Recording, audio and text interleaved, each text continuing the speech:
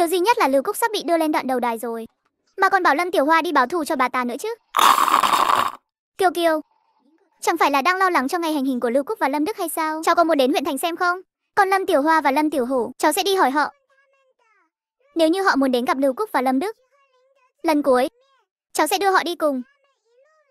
Sáng sớm hôm sau, liền sách bữa sáng đến nhà Lâm Tiểu Hoa để thông báo Lưu Cúc và Lâm Đức sắp bị chém đầu rồi. Tỷ tỷ, để đói bụng quá. Hay là chúng ta đi ăn trộm chút gì đó đi. Đệ thật sự đói không chịu nổi nữa rồi. Dân làng vừa mới thay đổi cách nhìn về chúng ta một chút. Nếu chúng ta đi ăn trộm, vậy thì chúng ta lại thành kẻ xấu rồi. Tỷ tỷ, vậy phải làm sao? để cảm giác mình sắp chót đói rồi. để đợi tỷ, tỷ đi tìm xem còn của dại nào không. Dù sao cũng không thể đi ăn trộm. Lâm Kiều Kiều gõ cửa phòng. Ai vậy? Thấy người đến là Lâm Kiều Kiều. Trên tay còn xách theo đồ ăn. Kiều Kiều tỷ, tỷ đến đưa đồ ăn cho đệ sao? Đúng vậy. Hu hu hu, Kiều Kiều tỷ, tỷ thật tốt. Tỷ mà không đến đệ sắp chót đói rồi. Kiều Kiều, muội đừng nghe đệ ấy nói bậy. Hai người ăn đi. Cảm ơn tỷ. Lâm Tiểu Hoa có chút ngại ngùng, cả hai lần xấu hổ nhất đều bị Lâm Kiều Kiều nhìn thấy. Hôm nay ta để nói với hai người một chuyện. Ngày mai là ngày hành hình của Lưu Cúc và Lâm Đức. Hai người có muốn vào huyện thành, gặp mặt bọn họ lần cuối không? Nếu muốn đi, ta sẽ đưa hai người đi. Nếu không muốn, thì thôi vậy. Lâm Tiểu Hoa nghe vậy sững người, cuối cùng vẫn gật đầu. Được, vậy thì thu dọn đồ đạc rồi đi với ta. Muộn hơn nữa sợ là không kịp. Không có gì phải thu dọn. Trong nhà này cũng chẳng có gì mang theo cho bọn họ được. Cứ thế này mà đi thôi. Lâm Tiểu Hoa nói câu này, trên mặt có chút ảm đạm và thê lương. Được rồi, vậy thì đi luôn thôi. Lúc này ở phát trường huyện Nam Ninh, đã là người đông như kiến cỏ. Sao phạm nhân còn chưa bị áp giải đến vậy? Chắc là chưa đến giờ. Người vội cái gì? Nếu bị áp giải đến trước, chẳng phải là phải nghe bọn họ kêu la inh ỏi sao? Cũng đúng, huyện chúng ta, đây là lần đầu tiên có vụ hành hình lớn như vậy. Vụ án chém đầu này, ta chưa từng thấy bao giờ. Đúng lúc mọi người đang bàn tán xôn xao, Lưu Cúc và Lâm Đức bị áp giải đến pháp trường. Hai người mặc áo tù, tay chân đều bị trói. Mọi người thấy hai người bị áp giải ra, liền ném rau củ và trứng thối vào họ. Lúc này Lâm Kiều Kiều và mọi người cũng đã đến huyện thành. Lâm Tiểu Hổ còn nhỏ, hình như không hiểu chém đầu là gì. Tỷ tỷ, đó là cha và mẹ. Tỷ nhìn xem, chính là họ. Bọn họ ở đằng kia. Im miệng, ta biết, Lâm Tiểu Hổ bĩu môi. Không hiểu tại sao tỷ tỷ lại bắt cậu im lặng, cậu chỉ là thấy cha mẹ nên hơi kích động thôi mà. Tỷ là con gái của họ. Có thể lên tiễn bọn họ lần cuối. Chi huyện đại nhân sẽ cho phép. Tỷ không định nói chuyện với bọn họ sao? Ta nên đi sao? Không có nên hay không?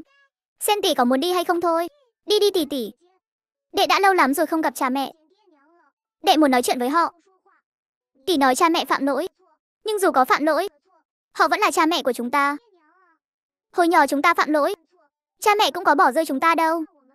Tại sao chúng ta phải giả vờ như không quen biết họ? Lời của Lâm Tiểu Hổ giáng mạnh vào tim Lâm Tiểu Hoa. Trái tim cô run lên dữ dội. Đúng vậy, cô hận Lâm Đức và Lưu Cúc. Cô hận tại sao bọn họ lại đi hại người, tại sao lại đắc tội với dân làng. Nhưng giờ lời của Lâm Tiểu Hổ khiến trái tim cô như bị bóp nghẹt. Ta biết suy nghĩ của tỷ.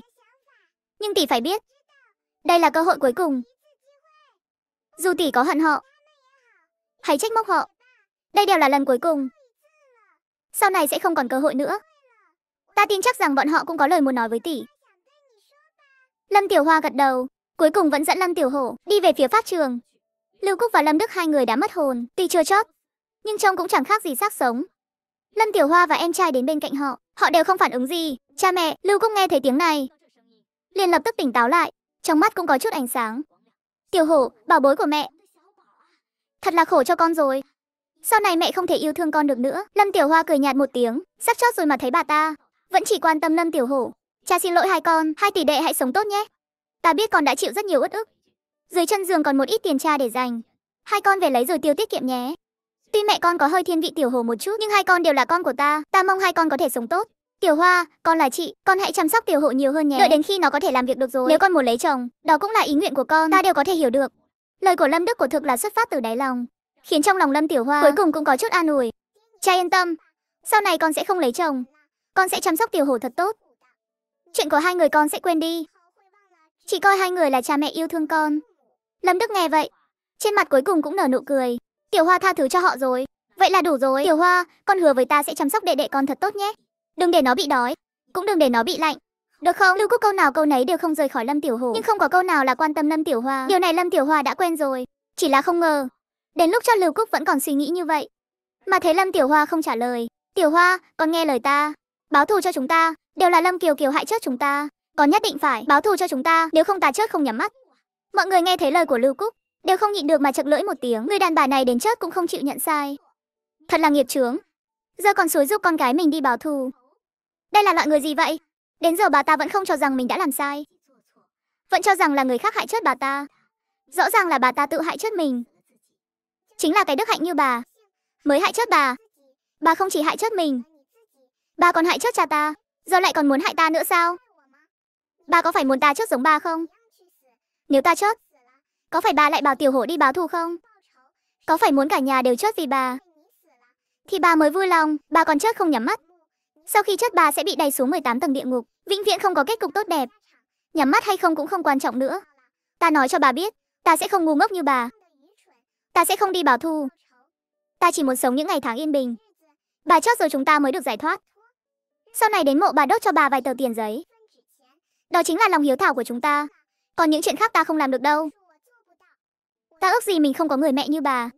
Nói xong một chàng, Lâm Tiểu Hoa liền kéo Lâm Tiểu Hổ rời đi, chỉ để lại Lưu Cúc ngây dại tại chỗ. Mọi người thấy cảnh này đều không khỏi thở dài, thật là tạo nghiệp. Vụ chém đầu kết thúc, mọi chuyện coi như cũng đã chấm dứt. Nhìn bộ dạng dứt khoát của Lâm Tiểu Hoa, quả thực là sáng suốt rồi. Xem ra có thể thử cho họ một con đường sống. Nếu làm tốt, cô cũng không ngại cho họ kiếm chút tiền nuôi sống bản thân. Cảnh tượng máu me này, cô không định xem. Nói với hai chị em Lâm Tiểu Hoa, địa điểm tập hợp, liền rời khỏi phát trường. Hôm nay cô đến đây chính là vì vụ làm ăn lớn của ngôi làng này. Ta muốn bàn với ngài một vụ làm ăn. Không biết cô nương muốn làm ăn gì?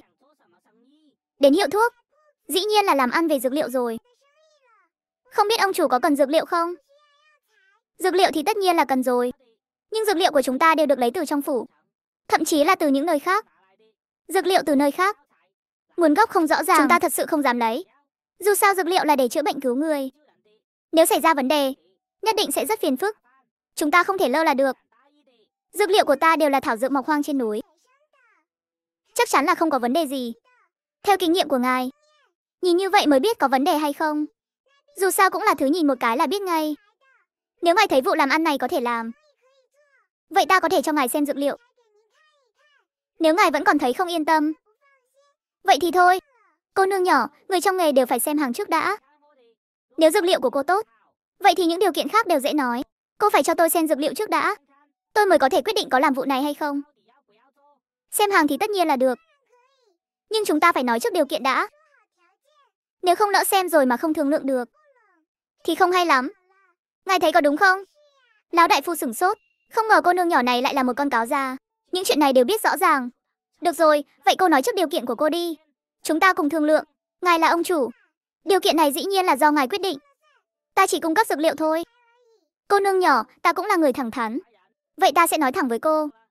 Dược liệu này đều là dựa vào phẩm chất và số năm tuổi. Phẩm chất càng tốt, số năm tuổi càng nhiều, giá dược liệu càng cao. Ví dụ như nhân sâm trăm năm này, phẩm chất tốt có thể đáng giá ngàn lượng bạc. Dược liệu của cô đáng giá bao nhiêu lượng bạc, lấy ra xem là biết ngay. Nếu đáng giá, ta sẽ nhận dược liệu và đưa bạc cho cô. Ta muốn giá thị trường của cửa hàng, cô ấy không trả lời ngay. Mà suy nghĩ cẩn thận. Thôi vậy, vụ làm ăn này chúng ta không thể thương lượng được rồi. Làm phiền rồi, nói xong, Lâm Kiều Kiều liền định rời khỏi cửa hàng. Lão đại phu sửng sốt. Cô nương nhỏ, đợi đã, làm ăn đều là phải thương lượng mà. Đừng vội như vậy chứ. Chúng ta nói chuyện thêm đi, làm ăn phải có duyên. Ta và ông chủ không có duyên. Vậy nên thôi vậy. Vừa rồi ta chỉ là nhượng bộ một chút thôi. Dù sao vụ làm ăn này liên quan đến không ít tiền bạc. Chi bằng cô lấy dược liệu ra cho tôi xem. Tôi sẽ trả cô giá cao nhất, thế nào? Rời khỏi hiệu thuốc, Lâm Kiều Kiều cau mày. Hình như đang suy nghĩ điều gì đó. Nghĩ gì vậy? Cao mày thế này buồn chết đi được, ta đang nghĩ về vấn đề dược liệu. Đừng lo lắng, huyện Nam Ninh đâu phải chỉ có mỗi hiệu thuốc này. Hơn nữa không được thì có thể đến Kinh Thành. Ta cũng quen biết không ít người ở Kinh Thành. Đến lúc đó xem có thể tìm quan hệ giúp muội được không? Bạn bè của ca ca này, thật là khắp nơi trên giang hồ. Lăn lộn trên giang hồ, chuyện này chẳng phải là rất bình thường sao? Mọi người liền trở về thôn Nam Sơn. Mà lúc này, trong bóng tối có người nhìn chằm chằm bọn họ một lúc rồi mới rời đi. Tai Diệp Lan động đậy, có người đang theo dõi bọn họ, anh ta nhiều mắt. Chẳng lẽ là người của hiệu thuốc vừa rồi? Nhanh như vậy đã đến rồi sao? Sau khi nhóm người Lâm Kiều Kiều rời đi, người theo dõi bọn họ liền quay về báo cáo. Lão gia, chúng ta đã nhìn rõ rồi. Bên cạnh Lâm Kiều Kiều, quả thực có đi theo một người đàn ông trẻ tuổi, không phải người của thôn Nam Sơn. Chúng ta đều đã điều tra rồi. Vậy là người ở đâu? Lão gia, chuyện này chúng ta chưa tra ra. Vô dụng, cút đi.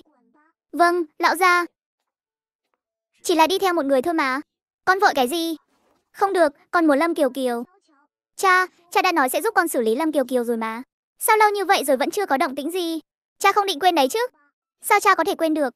Chỉ là muốn đợi con ổn định ở trường tư thục rồi, mới giúp con xử lý Lâm Kiều Kiều. Vậy giờ đã ổn định rồi. Cha, cha mau giúp con xử lý Lâm Kiều Kiều đi, nếu không muộn mất. Cha nói là sau khi việc học của con ổn định. Việc học của con có ổn định không? Cha, việc học của con chẳng phải vẫn luôn rất ổn định sao? Con còn dám nói việc học của con ổn định à? Ổn định đứng bét lớp đấy à? Ổn định đứng bét lớp. Vậy chẳng phải là ổn định sao? Lâm Kiều Kiều có gì tốt chứ? Con đừng quên bọn họ còn đắc tội với chúng ta. Cha, cha không hiểu đâu. Đây là yêu từ cái nhìn đầu tiên, là sư phụ đã nói. Người đẹp ai cũng muốn có được. Tiền đại phu càng tức giận hơn. Ta tuy không đọc nhiều sách nhưng cũng biết người con gái thủy mỹ nét na mới xứng đáng để quân tử theo đuổi. Con cả ngày đọc sách gì vậy? Ở trường tư thục làm gì vậy? Mỹ nhân trên đời đều như nhau cả. Dù sao con cũng muốn Lâm Kiều Kiều. Lão già như cha. Chắc chắn không hiểu Kiều Kiều đáng yêu đến mức nào. Chuyện cha đã hứa với con mà cha lại quên. Cha còn có lý lẽ dạy dỗ con nữa. Tiền đại phu nghe vậy. Hai mắt trợn trắng. Ngất xỉu. Cha, cha sao vậy? Cha mau tỉnh lại đi. Chuyện của Kiều Kiều còn chưa giải quyết xong đâu. Mà bên kia thôn Nam Sơn, đến làng rồi. Kiều Kiều, muội cho bọn ta xuống xe ở đây là được rồi. Bọn ta tự đi về. Đợi đã, đợi một chút. Kiều Kiều còn chuyện gì nữa sao? Ta đã cho người mang thi thể cha mẹ tỷ về rồi. Chờ một lát nữa họ sẽ đến. Bọn họ sẽ giúp các tỷ an táng. Hai người đi xem thử đi. Cùng bái một chút. Lâm Tiểu Hoa sửng sốt, rõ ràng là không ngờ Lâm Kiều Kiều lại làm như vậy. Cô tất nhiên cũng từng nghĩ đến việc mang thi thể cha mẹ về an táng, nhưng việc an táng này không có dân làng giúp đỡ. Hai chị em bọn họ căn bản không làm được. Người chết rồi thì cho về cho, đất về đất. Những việc ta làm bây giờ không phải là giúp Lưu Cúc và Lâm Đức, mà là vì tỷ và Lâm Tiểu Hổ. Hiểu chưa? Cảm ơn muội, Kiều Kiều. Kiều Kiều tỷ. Cảm ơn tỷ, tỷ yên tâm, đệ sẽ không nghe lời mẹ đệ, sẽ không báo thù tỷ đâu.